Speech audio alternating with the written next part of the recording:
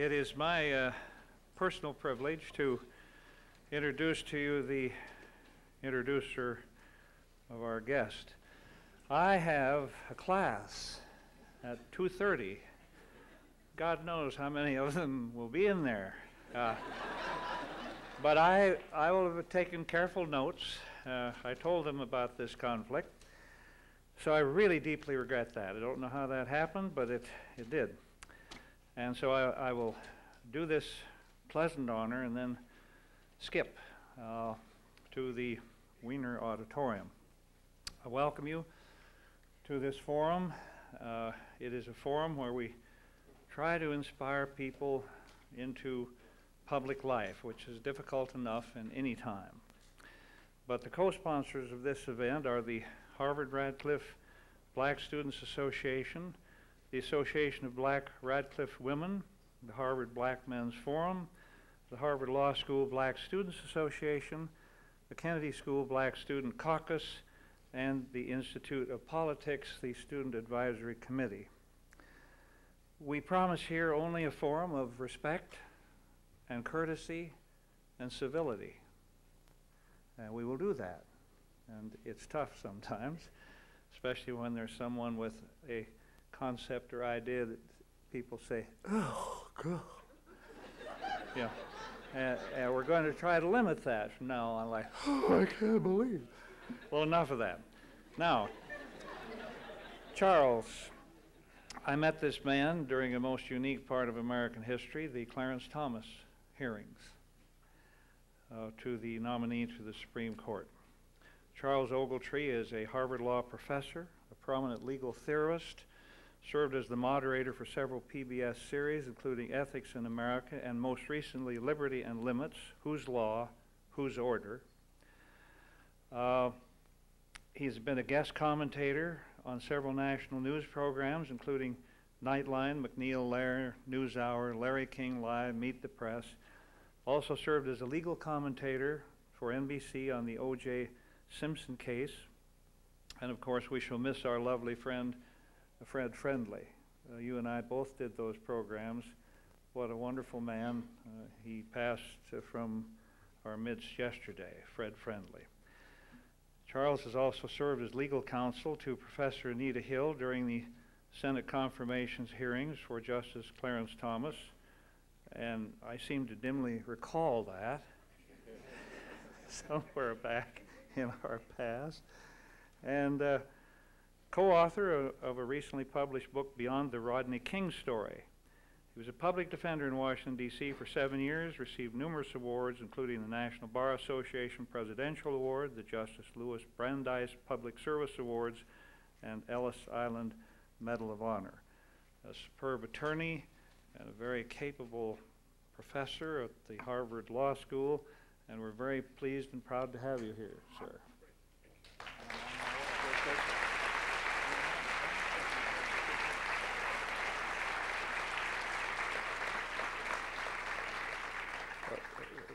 Thank you very much, Senator Simpson. Uh, and of course, just as I'm about to make my remarks, she walks away. Uh, that happened seven years ago as well. But, uh, but we, we have the final word here today. It, it is a distinct honor and privilege to be able to uh, introduce an extraordinary uh, human being uh, today. Johnnie Cochran is really a, a model of excellent lawyering, having worked in almost every imaginable legal capacity.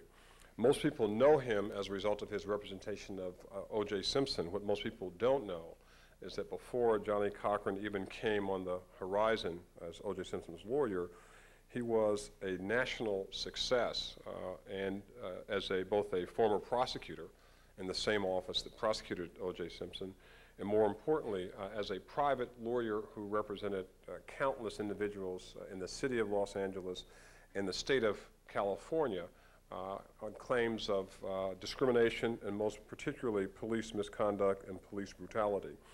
Uh, he is responsible through his firm for the largest uh, judgments in the history of California in a number of cases involving police brutality. He uh, has a keen sense about the public's interest in trying to protect themselves and protect their individual rights and liberties. Uh, He is a native of Shreveport, Louisiana, but spent most of his uh, formative years in Los Angeles, going to UCLA and then later to Loyola uh, for law school. I mentioned his public service. He was a city attorney for a few years in Los Angeles. He then worked uh, as an assistant district attorney uh, with people like uh, Gil Garcetti, and I believe Judge Lance Ito was around at the same time. And so there was a familiarity when they met again a few years ago. Uh, Johnnie uh, also has represented a number of kind of unknown uh, and unheralded clients. Some of you may recall that when Los Angeles almost went up in smoke uh, uh, because of the acquittal of the police officers in the Rodney King case, uh, there was one person who caught the nation's eye because the unmerciful and unjustified beating that he took. That was Reginald Denny. Johnnie Cochran was called, as you might expect, by many community leaders to represent the African American defendants who were prosecuted uh, for that crime and other crimes, and he chose not to do that. Uh, Johnnie Cochran actually represented Reginald Denny and other victims of brutality as a result of the lawlessness that followed the riots in Los Angeles uh, in early, the early 1990s. Uh, he has also uh, published the very popular and commercially successful Journey to Justice. It talks not just about the O.J. Simpson case, but about the person, the personal journey that he has uh, uh, followed. More importantly, if you read the book, it's, it's, it's significant that it doesn't start with a victory but a defeat. He talks about the case that has concerned him most of his life. That's the representation of Geronimo Pratt, uh, who was convicted in the 1970s, spent more than 20 years in prison, and was recently released because of the excellent efforts of a number of lawyers, including uh, Johnnie Cochran. It's that journey to justice and his pursuit of that journey to justice that makes him the most appropriate person to join us today to talk about finding justice within the criminal justice system. Uh, after he gives uh, his presentation, it'll be followed by my colleague uh, Randall Kennedy, who I'll introduce then, and then uh, Mr. Cochran will have a brief rebuttal, and then we'll take questions from you. But as he continues on that journey through justice through the Arkell Center at the Kennedy School in Cambridge, Massachusetts, please join me in welcoming Johnnie Cochran.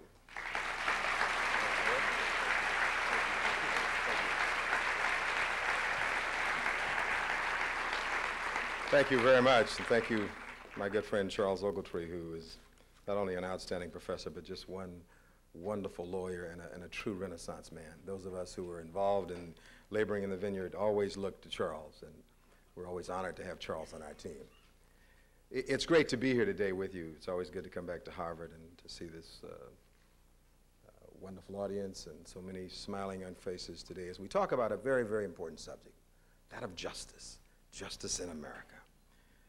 Finding justice within the criminal justice system. You know, it's been said by some that there is a peephole in the blindfold of Lady Justice. Think about that for a moment. A peephole in the blindfold of Lady Justice as we talk about this elusive quality of justice in America. Justice is always challenging. It's always difficult to obtain. Things have gotten better. This year, we celebrate the 35th anniversary of Gideon versus Wainwright, the case which talked about the rights of the indigent defendant to have legal counsel. We celebrate this year the 30th anniversary of the Kerner Commission report. Remember that report? Many of you weren't born at that point, but you probably have heard about it. After the civil unrest of the 1960s and 68, the Kerner Commission, Governor Kerner, came out with a report that said we were moving toward two societies, one black, one white, both separate and unequal. And just last week, another report came out by the Eisenhower Foundation, which said the Kerner Commission report was absolutely right. We have, in fact, moved toward these two societies. It's affected how we live, how we interact. It's affected the concept of justice in America. And so today I, I wanted to talk with you about this whole concept because realizing that what, doc, what Dr. King said back in 1968 is so true today, that injustice anywhere is a threat to justice everywhere. With that thought in mind, let's look for a moment at justice in America as we now know it. When you think about where we are in 1998 and you, you hear all the proposed legal reforms, it's interesting. In my home state of California, they want to They wanted to propose less than unanimous verdicts. They have, throughout the nation, subscribed to and endorsed a diminution in appellate rights. There has been a proposal to have IQ tests for jurors. We have mandatory sentences across this land. We've seen an expansion of the death penalty. There's even been a bill to try and stop lawyers or to limit what lawyers can say in closing argument. All of these things, and now we've seen an unprecedented attack on the attorney-client privilege, something that our distinguished moderator is very much involved in now, an extraordinary breach in the attorney-client privilege. All of these things to diminish that which the Constitution has guaranteed. Everybody who's charged with a crime, who is presumed to be innocent until the contrary is shown. And of course, in case of a reasonable doubt, that person is entitled to an acquittal. I guess the heart of it, and perhaps the best example I could use at the outset, is this. Since 1973, 69 individuals have walked off death row, having been found factually innocent. 69 out of 6,000 who've been sentenced to death row. Now, think about that. That's one in a hundred. Put another way, suppose you manufactured a new plane and you went to the FAA or to Boeing or somebody and said, look, I've got this new plane. And it's a great plane, looks great, works great. We say it's great, but it'll crash one in a hundred times. Think the FAA would uh, buy into that plane? I don't think so. Well, those are the facts regarding the death penalty in this society at this time. 69 have walked off death row out of 6,000 sentenced. Justice Brennan, a wise, wise man, understood that. Back in 1994, he said the following that perhaps the bleakest fact of all is that the death penalty is imposed not only in a freakish and discriminatory manner, but also in some cases upon defendants who are actually innocent. And so I fear that some today would make that just the cost of business, the fact that we execute an innocent person. It's just the cost of business. We move on in our effort to get it right. You know, they do call it practicing law. And we keep on practicing until we get it right. But for the individual who's put to death, he doesn't want you practicing on him or her. I'm sure, I assure you of that. There are several recent reports that I'd like to allude to just, just briefly. In my home state of California recently, in uh, the end of 1996, there was a report by the Center on Juvenile and Criminal Justice, which I think you'll find very interesting. This report said that a staggering 40% of California's African American men in their 20s were either in prison, on probation, or on parole. 40% in their 20s, if you can imagine that. And it didn't just stop there. It went on to talk about this great, great disparity as we seek to battle this war on crime. So in California, where African Americans are probably less than 10% of the population, in Los Angeles County, where I reside at least part of the time, an African American is 17 times more likely to be charged with a third strike. That's the third strike where you go to prison for the rest of your life for a simple crime. If you have two serious felonies, the third strike can be like stealing a pizza, which we had recently. Go to prison for the rest of your life. 17 times more likely to be charged. Or in San Francisco, a bastion of liberalism, so, so thought, you're 13 times more likely to be charged with this third strike in this so-called war on drugs. And it, it hasn't only affected African American males, it's affected African American women. The number of black women in prison has, has risen greatly in the past decade. So now, about 3% of African American women in their 20s in California are now under the control of the state's criminal justice system compared to 5% of white men, almost at parity. It continues. The data supports disparity at every level of the criminal justice system, according to the author report. And needless to say, this report was received in some quarters with skepticism, but by others who said, we knew it all of the time. In the so called war on drugs, you all heard about this so-called 100 to 1 disparity, where African American males, generally in their 20s, charged with these federal offenses. Generally speaking, if an African American male under this disparity has five grams of crack cocaine, he's sentenced to a mandatory sentence of five years in prison. It would take a matron in suburbia would have to have 100 grams of pure powdered cocaine to get that same sentence of five years. Now, the Congress is going to reduce that to 10 to 1, but that's still a great disparity and still quite, quite unfair. This is the state of justice in our society. In California right tonight, an African American male in his or her 20s is five times more likely to be murdered than to be eligible for admission to University of California. This is that society that Governor Kerner was talking about. This is the justice system they were talking about. Well, it's not all this. And so we, we, we talk about this report, this report by the Center of Juvenile and Criminal Justice, and it's pretty startling. It bespeaks an America that sees a vision that I hope that those, those in this room do not share.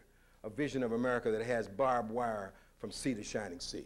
You travel around America now, and in many cities, the newest building you see in the town is the new prison.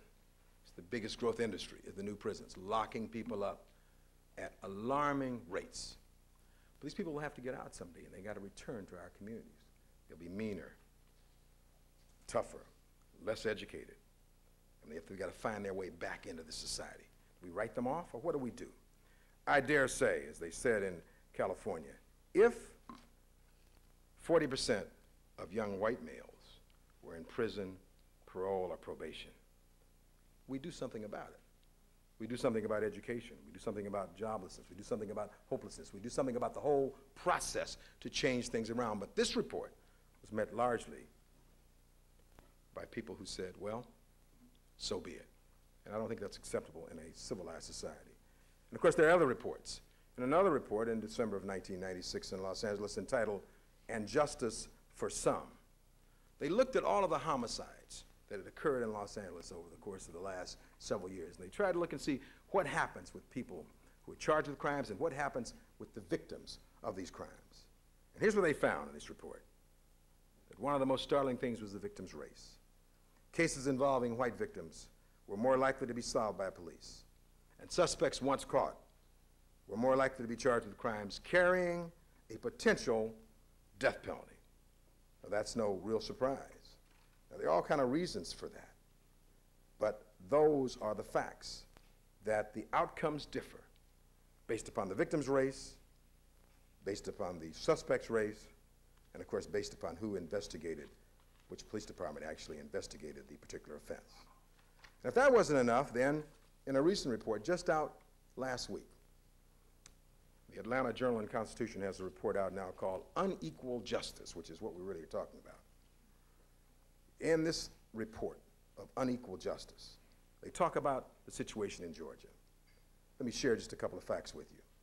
Essentially, it says that white criminals in Georgia are much more likely to avoid prison for serious crimes than black people who commit the same offenses.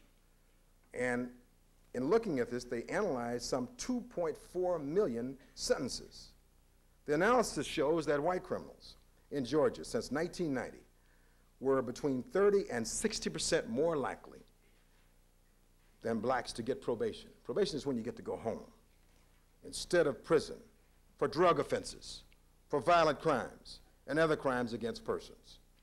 The disparity exists, although the prior criminal records were about the same among blacks and whites. This report came to us after looking, as I said, 2.4 million sentences of adult criminal cases. It goes on to point out that if the apparent racial disparity in sentencing helps to explain why Georgia's prison population is two thirds black in a state where the population is only one third black. And so it postulates that if whites had been sentenced to Georgia prisons at the same rate as blacks, about 20,000 more white criminals would have gone to prison during the last eight years, according to this analysis of the Atlanta Journal and Constitution. And that's more than half the current capacity of the state prison system. My good friend with the Southern Center for Human Rights in Atlanta, Stephen Bright, says it thusly. He says, This is a part of the legacy and a long history in excluding African Americans in all aspects of the criminal justice system in Georgia. He says, What you see reflected in these numbers are the racial biases, whether conscious or unconscious, of prosecutors and judges who see white people as kleptomaniacs and black people as thieves, who see white youths as trouble and black youths as thugs. And so he then spells it out, and he is a man who has fought very, very hard against the death penalty in Georgia, a state that has a, a, an abominable record. And then, of course, there's the anecdotal kind of information that, that comes up. And I don't want to deal in a lot of anecdotes, but I think I would be remiss were I not to just share quickly three of them, because I think they're very timely. Some of you may know that just last week in Missouri, a young man named Reginald Powell was put to death. Reginald Powell committed a horrible crime when he was 18 years of age. He killed two men. And here he was faced with the death penalty. But there's something very interesting about us as a society now. He, they tried to spare his life, but the governor of Missouri wouldn't do anything about it. He's now 10 years older. His lawyer was a woman of 35 years of age who became emotionally involved with Powell, who is mildly retarded. Some of you may have seen this on Dateline. They supposedly fell in love. She was blinded by supposedly this love. And so the prosecutor came to her one day and said, Look, your client pleads guilty. We'll give him life in prison. She didn't think that was good enough and she could do better. She made some terrible mistakes along the way in representing this man. The upshot of it is that he got the death penalty when she didn't think he would. He was sentenced to the death penalty. She came forward, and after they found the letters that had been exchanged between the two of them, and, and confessed that she had fallen in love with him, that they'd had this relationship that went on for a period of time, that affected her representation, that he was not represented appropriately. And so I thought about this man, and I put him in perspective with Karla Faye Tucker, the young lady who, in Texas, who recently was put to death. I thought about all those news cameras and people who were there support her, and I'm a vehement, I'm in vehement opposition to the death penalty because I agree with Justice Brennan. It's discriminatorily applied. But then I thought about this young man, Reginald Powell, and I remember when I went to sleep in California that night, I woke up the next morning to see, did they spare him? What happened to him? And I could, had to look, I had to search to find just another one they put to death. Governor never spared him. This happens over and over again. They'd offered to save him because his lawyer, he didn't have effective representation. But more close to home, when you talk anecdotally, when you talk about justice in America. In 1972, as a young lawyer, I had the pleasure to represent a young man named Geronimo Pratt. He was charged with a murder that he always said he didn't commit. And of course, I believed him, but most of your clients say they're innocent. But in this time, this man said it, and we believed it, and we thought we could prove it. He said something else, too. He said, Cochran, they're out to get me. He would always say that, and I would always say, who is they? Who's this amorphous they? Well, he was right and I was wrong. The, a, the they he was talking about was the FBI.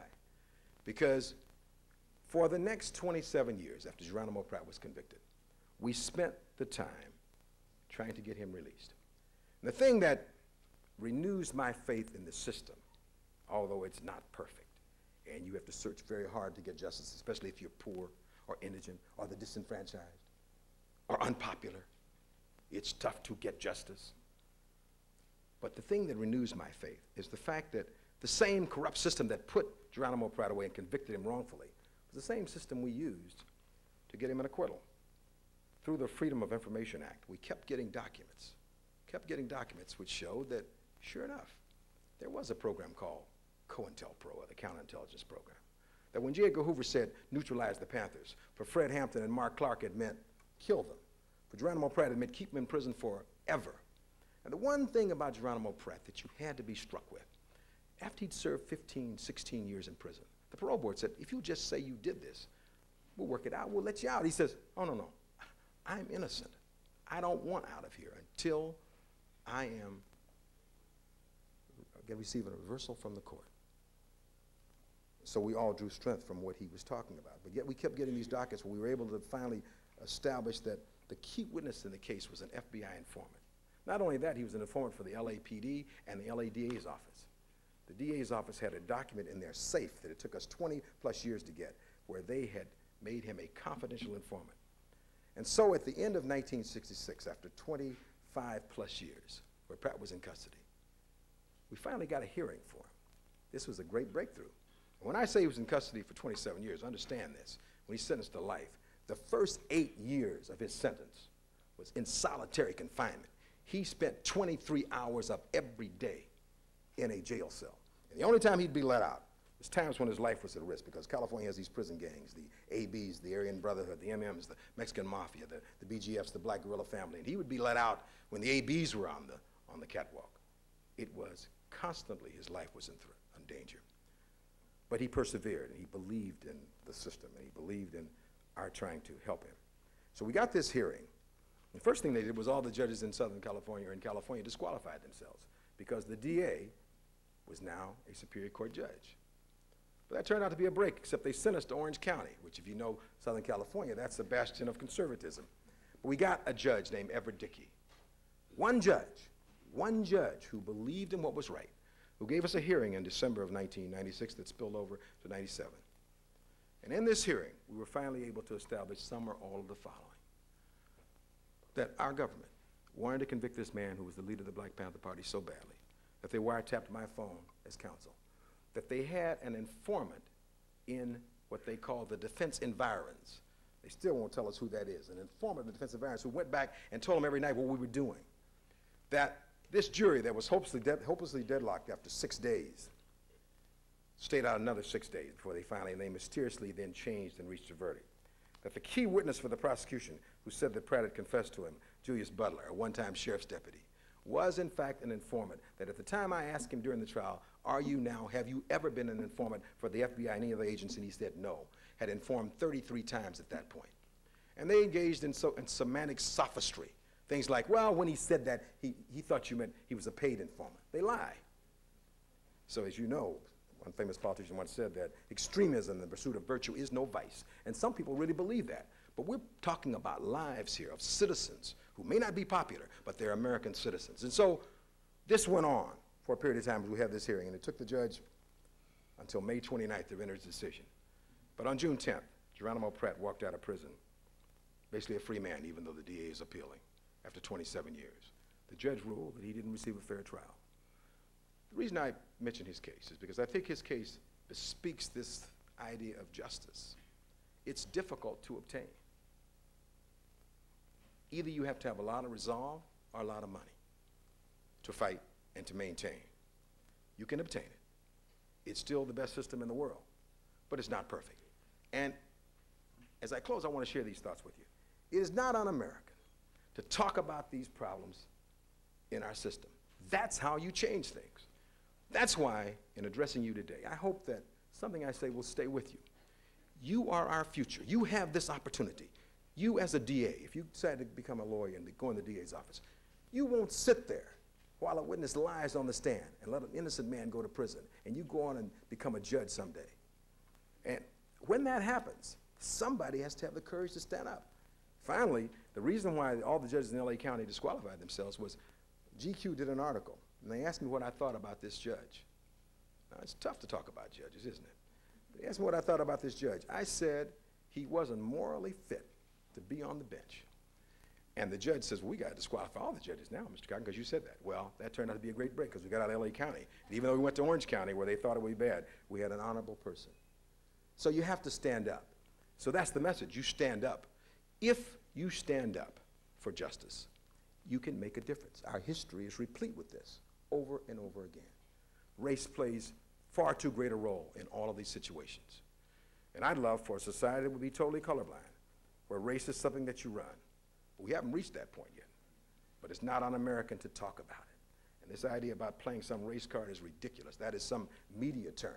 Race is serious. It's not any card game, and I don't play about it. But you have to talk about it where it's appropriate. Because ultimately, if you're going to be an advocate, as I urge you to be, you're someone who stands up against all of the forces. You don't back up, you don't blink, you don't flinch, It's not about popularity.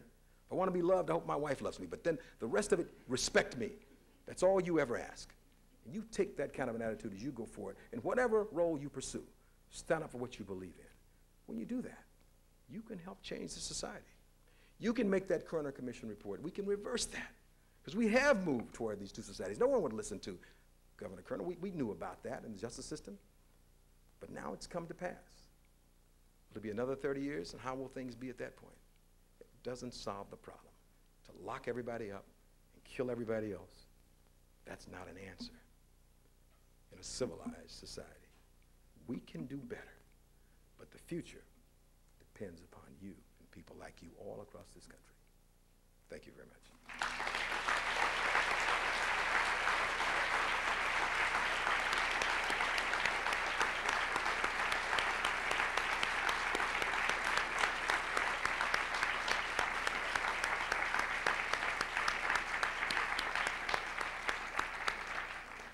Thank you very much. We'll now have a commentary from my colleague Randall Kennedy, uh, who is a graduate uh, of Princeton University with honors in Yale Law School, where he was a member of the Yale Law Journal.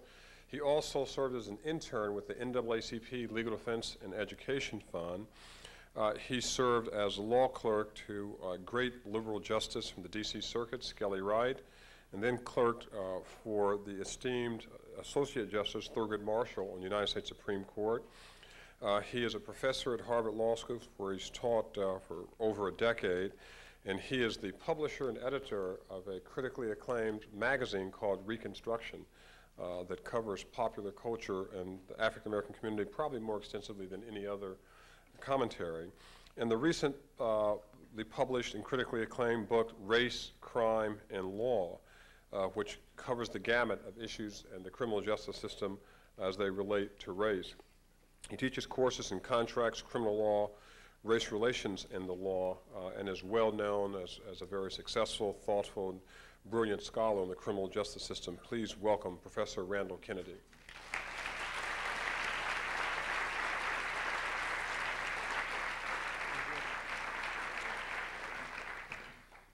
Thank you very much for the generous introduction. I um, thoroughly enjoyed uh, Mr. Cochran's remarks, and for the bulk of uh, my commentary, we'd just like to underline a couple of the points that he made. Starting out, number one, with his comments about the death penalty. This should certainly strike home in this state this state just uh, fairly recently was one vote away from having the death penalty reintroduced into the jurisprudence of Massachusetts. That's a tremendous danger that we face uh, in the Commonwealth. And um, I certainly hope that we will all uh, take to heart Mr. Cochran's caution about uh, the death penalty the death penalty is run by human beings. Human beings make mistakes uh, even under the best of circumstances. So we, we have to be careful, and I certainly hope that we'll all be vigilant. Second, there was the point he made about the shoe being on the other foot. I think this is a, a way of analyzing things that needs to be reinforced a lot more. His point was that uh, if, the, if the racial demographics of prison or the racial demographics of joblessness or the racial demographics of the other signs of social dysfunction in the society were different. And um, uh, these, uh, these tremendous social menaces were menaces that affected larger sections of the white community, or as large sections of the white community as they affect sections of the black and other colored communities. If that were the case, if the shoe were on the other foot, would our politicians act differently? And his suggestion was that they would, and it seems to me that there's good reason for believing that. And in analyzing all that we do, it seems to me that that, that approach, that question, is one that uh, needs to be foremost uh, in our minds. Third, in the introduction to um, uh, Mr. Uh, Cochran's remarks, my colleague Charles Ogletree mentioned that uh, uh, Mr. Cochran used to be a prosecutor. And it seems to me that that's something that needs attention I come into contact with a good number of law students who have um, uh, rejected, have eschewed uh, uh, careers in prosecutors' offices or careers in law enforcement generally uh, on the grounds that they didn't want to, in a sense, join up with the enemy. It seems to me that that's a terribly misguided uh, approach.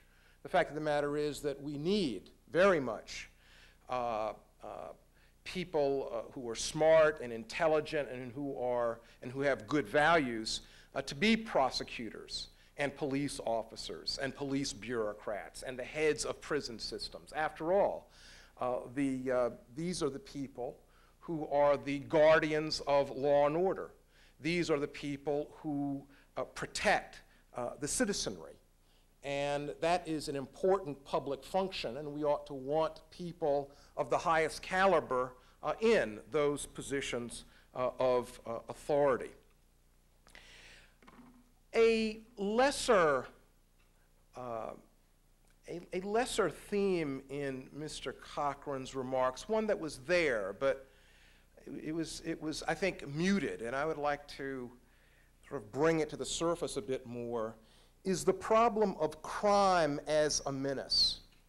Mr. Cochran mentioned that in Los Angeles, and in fact around the country, those who are most victimized by homicide, by rape, by robbery, uh, by violent crime of all sorts, are poor people, especially poor people in racial minority communities.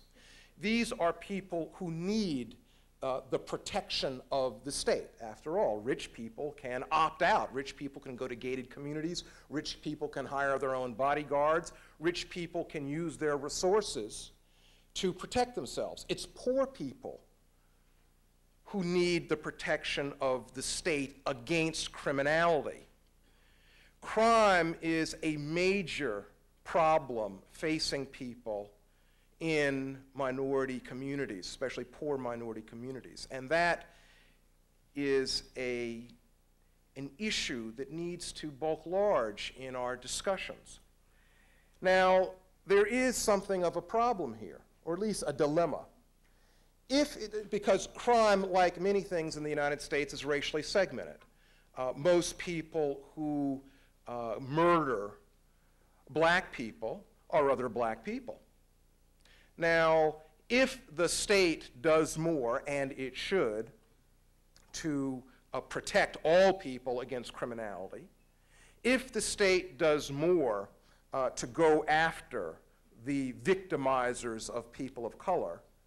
There's a dilemma there. On the one hand, it seems to me uh, it's, a, it's a good thing, it ought to be done, uh, because one of the state's primary roles is to protect the citizenry against crime.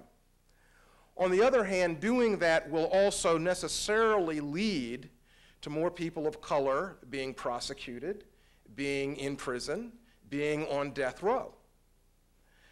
That is a dilemma that we ought to think about, um, or at least be aware of. It's not as if this problem of um, the problem facing minority communities is simply a problem on one front.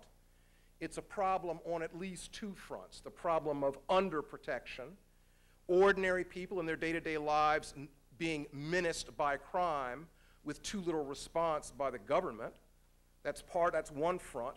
The other front is, of course, the problem of the, of the suspect or the defendant who is treated badly in the courtroom. Those are two very important fronts, but they have to be, it seems to me, face at the same time. Finally, finally, and here we may have a disagreement, I'm not altogether sure. But just one point. There's, a, there's an issue that's been out in the, in the press a considerable amount in the, in, the, uh, in the past couple of years. This crack cocaine, powder cocaine distinction. The claim is sometimes made that the crack cocaine, powder cocaine distinction is racist. Under this distinction, as a matter of federal law, if you traffic in crack cocaine, you go to jail for a lot longer time than if you, powder, if you uh, traffic in powder cocaine. And some people have said that this is racist because the racial demographics of this distinction lead to racial minority folks going to jail for longer periods of time. Now, Mr. Cochran said that this is unfair. He didn't say, and here I just ask for clarification, he didn't say it was racially unfair, he just said it was unfair. Now, in my view, it seems to me that this crack, this crack powder distinction, along with the entire war on drugs, needs to be rethought. I think there's good grounds for believing that it has become counterproductive. Uh, I think there's good reason to think that we need to that we need to reconsider it and modify it in a major way. Um, that's different than saying that the crack cocaine, powder cocaine distinction is racist. Mr. Cochran didn't say that, but some people do. And I think that that is probably uh, a mistake. One of the things that I did in, in, in doing research about the crack cocaine, powder cocaine distinction is to go to the uh, congressional record and see when did crack cocaine surface before Congress? Who were the people who first talked about crack cocaine? The people who first talked about crack cocaine were people like Charles Rangel, African American representative of Harlem, and other African American representatives who, 15 years ago, said, listen, there's this terrible type of co- cocaine, crack cocaine, that's menacing our communities. We need to do something about it. Something was done about it. Now, again, it might have been counterproductive. It seems to me it has been. It may very well have been a mistake, a misjudgment. It seems to me that that's the sort of rhetoric that one might want to use in addressing this problem as opposed to the, as opposed to the rhetoric of genocide, racism, etc. Again, to go back to the beginning and to really sum up and make my major point, I couldn't agree more with uh, Mr. Cochran that we have many problems staring us in the face. I couldn't agree with him more, though, that when he said that as bad as our system is, and it certainly has many flaws, it also has within it the resources to right itself. So, again, speaking for myself, I certainly appreciated your comments very much and look forward to having a nice discussion with everybody here. Thank you.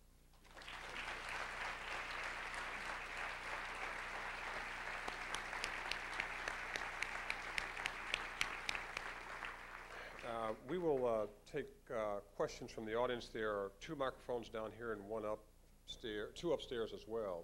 I wanted to give Commissioner Watson, at least acknowledge him if he'd like to ask a question. We have Commissioner Watson, who's the Commissioner of the Cambridge Police Department, and formerly from Chicago, who has to deal with these issues of race in the criminal justice system. An opportunity, if you'd like to make a, you just listen, okay? Uh, or welcome very much. There's a microphone here, there's one here, uh, and two upstairs, and you have to identify yourselves uh, when you uh, ask your question. Let me start to my left. Hi, I'm Anna Perez, and I'm a fellow here at the IOP. I have a question for Mr. Cochran. Um, with all of its vast resources, the LA County government, there are hundreds, if not thousands, of attorneys, there are tens of millions of dollars of budgets. How in the world did your rather small law firm become, how did they get to be the underdog during the O.J. Simpson trial, and you sort of Well, I understand the question. The, the, the, I, I don't think they really were the underdogs. I, I think that was a, um, a media perception. And, you know, if you, let me, let me put it this way.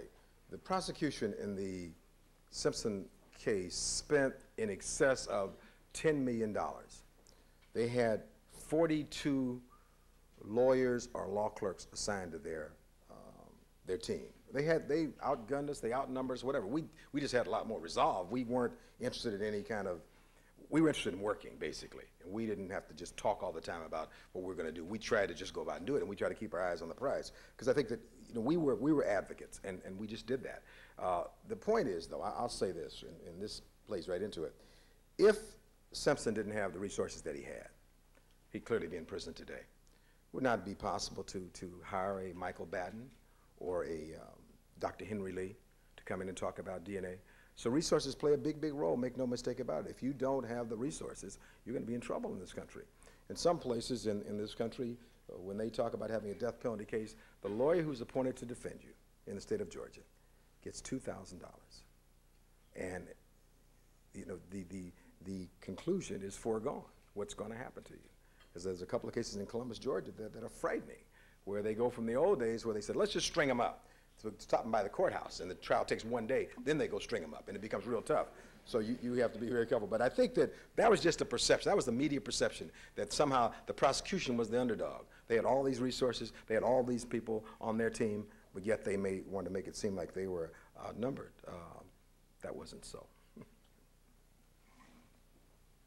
We are, I just want to remind you, we're not going to be able to take all your questions because this is going to end in a short period of time. So you can stand there, but be forewarned that we won't get, we won't get to all of you. To the right, yes. Hi, I'm an undergrad student from Wellesley, but I had a question either for Mr. Cochran or Mr. Kennedy.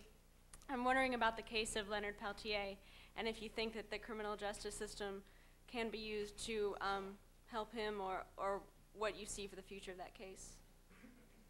Yes, I, I would hope so. The day that Geronimo Pratt was uh, freed, the supporters of Leonard Peltier were there.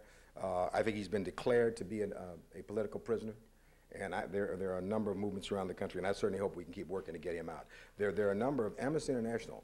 That was one of the big helpful things in Pratt was they declared him to be a political prisoner. We do have political prisoners in this country, as hard as that is for some people to believe. And, and I think we have to keep working for those cases. And you can never give up. You got to keep working and keep the resources in. And I certainly hope that his day will soon come. You didn't give your name? Sorry. My name's Jocelyn Benson. Okay. Uh, Top left? Good afternoon. My name is Chuck Meadows. I'm a native of Atlanta, Georgia. I'm a graduate of Morehouse College and a student here at the Kennedy School. My question uh, specifically directed toward Mr. Cochran.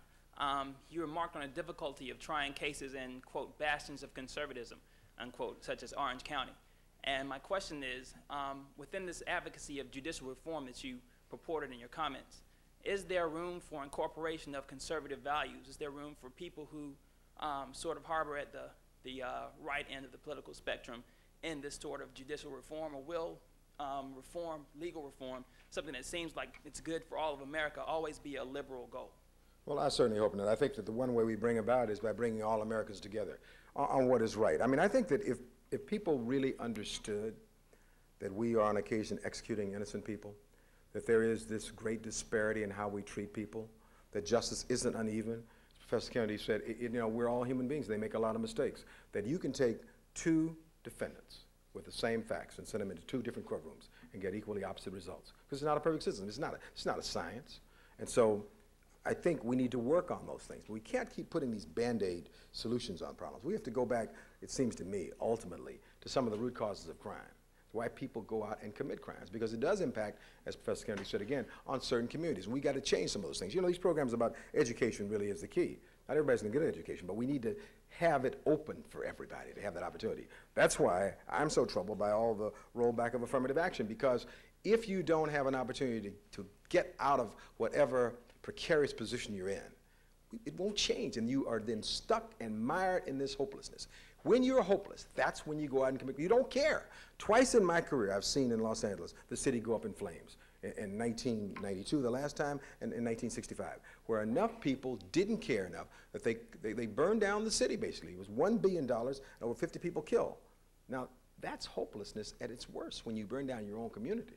You don't have a stake in anything. And we've got to get away from that. And it seems to me whether liberals and conservatives should understand that and do something about it. Thank you. Yep. Professor Kennedy? On the, on the question of uh, conservatives uh, in, in this discussion, I'd say I'd like to make two points. One, um, one of the central themes of, of many conservatives is the need for being very careful with respect to government. one of the sort of central themes is we have to watch governmental actors because governmental actors are people necessarily with power, and we all know that power corrupts. That's absolutely true. That's a very, that's a great idea. I think that this idea needs to be expanded and that conservatives need to join with others in putting uh, more watchfulness on the problem of police. I mean, after all, the the agents of the state with whom most citizens come into contact are police. I think police have a very tough job. I certainly have known of, you know, many wonderful police officers, but the fact of the matter is that if you believe in limited government, as many conservatives do, then you should definitely believe in the necessity for doing a better job of policing the police than our legal system currently does. It does an abysmal job now of limiting uh, police abuses. Secondly, if one is a conservative, another sort of major theme of conservatives over the past quarter century certainly has been the idea of law and order. Good idea, law and order. We need law and order. People need security in order to be happy people. One of the biggest impediments to law and order today is the feeling of distrust, the feeling of resentment, uh, the feeling of antagonism that many people, especially in minority communities, feel toward the police. We need to drain these feelings of resentment, and if that, this is done, it will enable the police to more effectively do their jobs. So it seems to me that in this struggle, uh, there, there's no need for there being any sort of ideological exclusion. People from a wide range of ideological camps should be able to find common ground in uh, the uh, uh, im- improving uh, the administration of criminal justice in the United States. Next question, uh, upper right. Mr. Cochran, uh, I understand you're under some emotional distress because of a columnist for the New York Post having dared speak ill of you uh, last summer.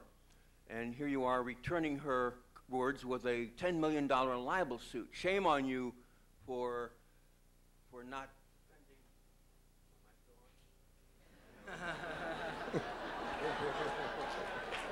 Come on. Is there a question? Go ahead. We want the mics on. the right of free speech. I hope you don't suffer some emotional distress here today.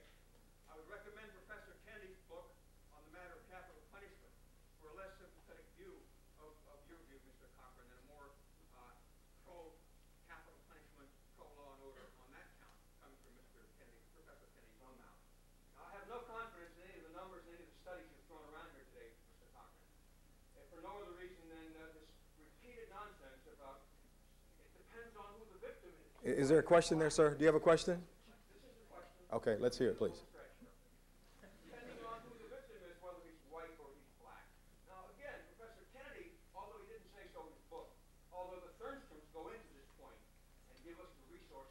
uh, sources and the documentation on why this is, it is that the matter of mitigating versus aggravating circumstances. Now, if you don't want me to speak any further on this point, I invite Mr. Kennedy to explain the difference in why it is that when you're a white victim, usually murdered by black as opposed to whites killing blacks, which almost never happens, white people killing black people.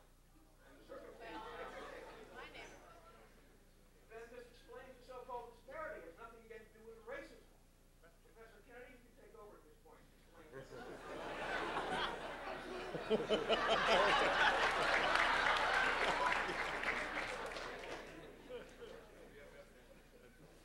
Next question.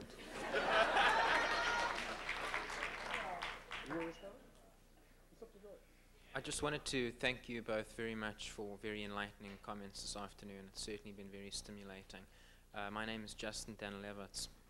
Um, I'm an undergraduate at Harvard College, and I'm, I'm taking a seminar with Professor Jeffrey Abramson on the jury system.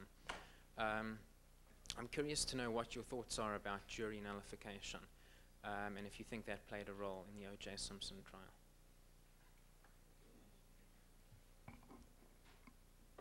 I don't think it did in the O.J. Simpson case. Uh, I think we hear a lot about this concept of jury nullification now in the post-Simpson thing. But if you recall, in that case, one of the things that we tried to argue to the jury was that we felt this was a case of reasonable doubt. You could have all the thoughts you want about what may or may have happened on June 12th of 1994. But nobody in this room was, was there, and no other American was out there. Only, only maybe one or two people know what happened out there that night. The prosecution had the burden of proving uh, this man guilty beyond a reasonable doubt and to a moral certainty. If they failed in that, the defendant was entitled to an acquittal. And it was very interesting to me that when the jury came back, they said, when asked, why did it only take four hours for a case that took a year?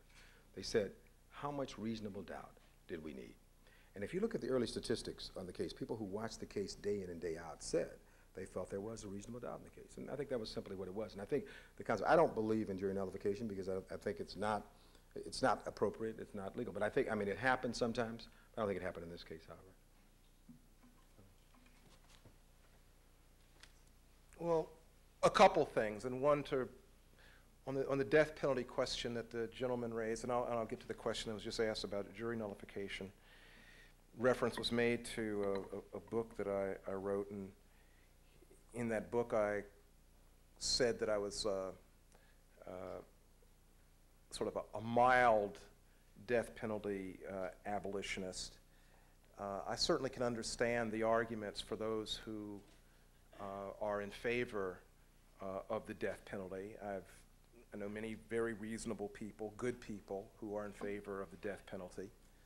Um, I guess I disagree with them now more than I, when I wrote that book. And, but still, it seems to me that there are arguments to be made on, on both sides. With respect to the question of, of facts and figures, I think that the whole question of racial discrimination in the administration of capital punishment uh, in some aspects is a very complicated picture. And oftentimes the complications are lost sight of. There is one thing, however, about punishment in general that is not complicated at all. And there is one statistic that is a very clear statistic and a statistic that it seems to me to uh, say a lot about the administration of criminal justice in America and says a lot that's negative. I know of no court in the history of the United States that has ever found racial discrimination in the administration of a penalty. Now, what's so striking about that is that anybody who knows anything about the United States knows that, of course, there has been racial discrimination in the administration of penalties, as in all other sectors of the administration of justice. Yet there has never been a finding of selective prosecution, racially selective prosecution. There's never been a finding. Never been a finding of racial discrimination in the administration of any penalty, much less a death penalty. And that, it seems to me, is a very sobering statistic. On the question of jury nullification, I guess I, I differ a little bit with my colleague, uh, Mr. Cochran. I would never answer the question that I'm against jury nullification under all circumstances. Rather, my response would be it depends on the circumstances. Certainly in the 19th century, there were instances of jury nullification which I certainly applaud. Jury nullification in the, in, in, in the face, for instance, of the federal fugitive slave law, when people simply refused to convict people who uh, stood in the way of the enforcement of that evil law. Those were people who were engaged in jury nullification, and I say thank God for them. Now, the question is under current circumstances, do we have a current circumstance in which jury nullification uh, is, um, uh, is justifiable? And from, and I, from my reading of the situation, the answer is probably not. I think that you have to have an extraordinarily good reason to engage in jury nullification. That the strong presumption should be that you follow the law as set down. Um, with respect to the Simpson case, uh, no, I certainly didn't watch it every day, and uh, I'm sure that your familiarity with it is, uh, you know, a hundred times, if not a thousand times more than mine from my perspective as an observer, though, my sense was that I got the sense that all sorts of things were happening with that jury.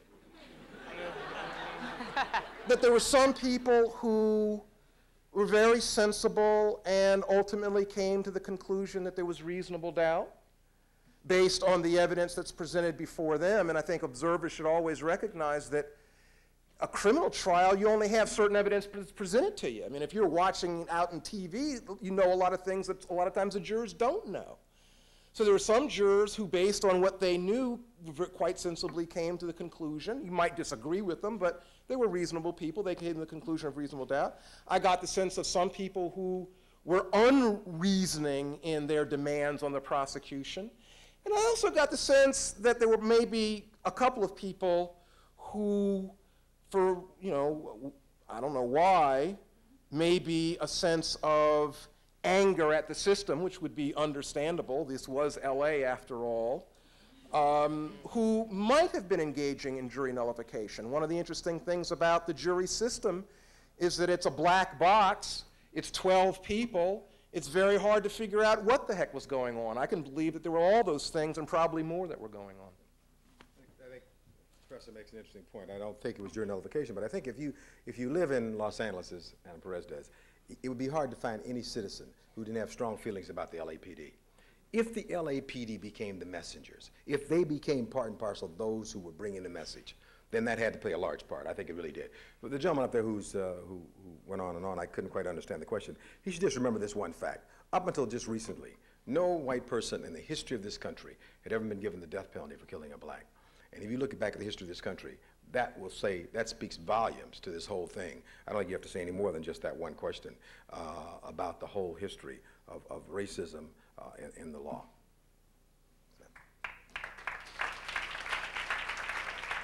Next question to the right.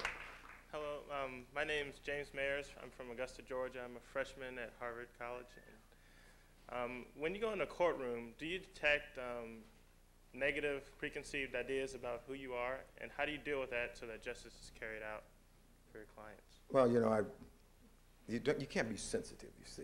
You just- you. Are, are- you talking pre-Simpson, post-Simpson? What are you asking? Uh, no, basically, you just can't be sensitive. You know, uh, what happens is that if you take stands in this society, uh, some people are going to like them, some people are not. But that's not, I don't take the stand because of the fact that uh, uh, I, I want to curry favor with somebody. I don't hold up my hand and say, gee, I think I'll represent this client because this is a good, this is politically correct. When, when I got involved in representing Latrell Sprewell, that's a good example. that wasn't the most popular thing to do, but I felt that what happened to him, you, I can't, you can't go around choking people. Now, that's very clear. but, uh, by the same token, you don't get the death penalty for choking somebody. You don't obliterate the contract without a hearing and that sort of thing. So you take a stand, and then you see it through. That's what justice is about. You then try to have a hearing. So now he had a hearing, and a mediator, an arbitrator hears the facts, and he changed it. You don't, you're not always right, but you know, sometimes you feel vindicated by the position you take. So what, what I have found is that um, hopefully when you walk into a courtroom, you're respected by your adversaries. That's all you do. I don't threaten anybody. I just go there to do my job. But the one thing I'll say to you as a, as a, as a student, the three keys to success, as far as I'm concerned practicing law, are one, preparation, two, preparation, three, preparation. I will never be out-prepared by any other lawyer on the other side. You keep that in mind in whatever you do, okay?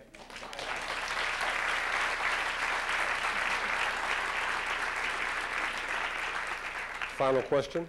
My question is for Mr. Cochran. Interesting that you would bring up the Latrell Str- Sprewell situation. I'm here at the Kennedy School of Government visiting a friend of mine. I'm actually a sportscaster in Phoenix. You've been a lot of talk uh, in my world the last couple of years. Uh, I, my question, first of all, I'd like to know, as a member of the media, I do not use the term race card. I never have and never will. Good. I don't like it. I also will say to you in, in, a roundabout way with questions in, regarding Latrell Sprewell, um, within my colleagues, our questions now are, why is Johnnie Cochran there every time we see a star celebrity black athlete? Is he going to be in the picture? People have said that. Within my colleagues, I would ask what you would uh, say to that. And I would also ask, uh, would you have felt yourself needing to get involved if it was a Rick Smits or a Tom Gugliotta that had done the same situation? Yeah, I don't, I don't pick and choose people according to race. If uh, you're in Los Angeles, when Reginald Denny in the situation, a lot of people said, gee, how can you defend him? How can you represent him? He's white. I don't, I, if I see injustice or what I perceive to be injustice, I go where that is, not because of race. I'm not interested because of your race or whatever. I mean, I'm interested, in, I understand the subject of race. But uh, no, it, it would just depend upon what the facts are. Uh, I think that um, I got, quite simply, I was retained by Mr. Uh, Sprewell to get involved like any other client. You know, it's so interesting to me that um, I suppose that it, it, that it's so interesting that someone would be concerned about a lawyer representing clients in America. So that if I would go as it, like I'm going to pull some tremendous rabbit out of a hat, Right. and if I'm going to go Right. someplace, I mean, it- you know, the amount of worry and fear is really interesting. I, I don't govern my life by what people out there in the media are worried about what I'm going to be next. But you know, and when I came to New York, you know, um, I represent Abner Louima. They were worried, oh God, here he comes, here comes the team. You know, and, and what's happened is, since we got there is that now, in a pres- unprecedented fashion, the U.S. Attorney's Office has indicted five police officers, and now they're looking at the Patrolman Bene- Patrolmen's Benevolent Association, the union, to go after, you know, this whole 48-hour rule and how you can't talk to police for 48 hours after some thing. So I hope that we bring us some experience. And, you know, I don't pick and choose, uh, you know, based upon race. I look at the particular case. But most of the time, I represent not the OJs, the famous blood, I represent the, the no Js that you never heard about. That's who I'm most interested in representing. Thank you.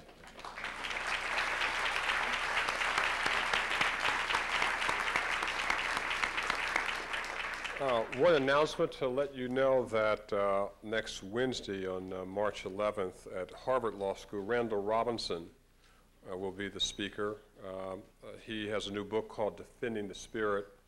That will be at 4 o'clock in Pound Hall, room 102 at Harvard Law School. I believe there's some flyers around here if you'd like to get one. Uh, Ah, there they are right there. Um, And um, uh, Randall Robinson was the uh, president of TransAfrica and was very instrumental in the end of apartheid in South Africa. Uh, uh, And there will be many other public forums here as well. Uh, Again, we'd like to thank you. This is one of the few places where all voices uh, are heard uh, and all questions uh, are answered, if not in the formal setting, uh, certainly uh, before this is over. We're very grateful that uh, my colleague Randall Kennedy is here. You, you, yeah, uh, and that uh, Johnnie Cochran flew here from New York and is flying right back, and he expects you to be watching Cochran and Company at 9 o'clock tonight uh, on Court TV, uh, and he'll, he may even say something about this Harvard crowd. Thank you very much, and thank you for coming.